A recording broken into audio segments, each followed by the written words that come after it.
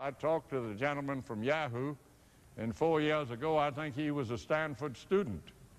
And now he's well along the way, and I admire him because uh, unlike AOL, America Online, that everybody is hugging and loving around here, dining and wining and traveling out to Virginia, Yahoo doesn't charge.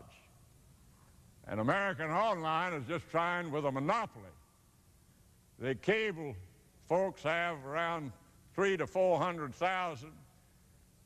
American Online's got 17 million, and their thrust for openness, openness, openness is to let me make sure I retain my monopoly.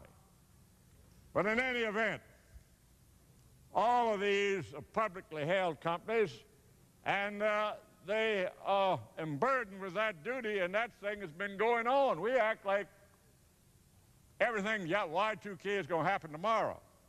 The bill gives them 90 days. We're going to give them 180 days right by debating. Tell them, go ahead, fix it. Call up now. Everybody tonight, test it. Find out if it's Y2K compliant.